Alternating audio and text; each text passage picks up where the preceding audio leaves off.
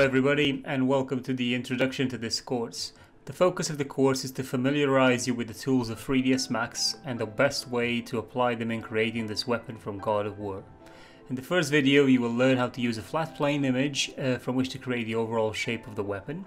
This stage is where we prepare our high poly mesh to be exported into ZBrush and we're also going to learn how to set up our low poly topology. In the second video, I will show you different sculpting options and tools inside ZBrush that will help you, help you to carve this shape correctly.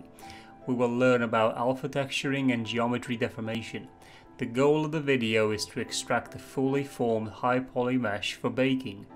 In the third video, we will use 3ds Max to adjust our low poly topology and also how to properly UV unwrap our mesh using the TexTools add-on.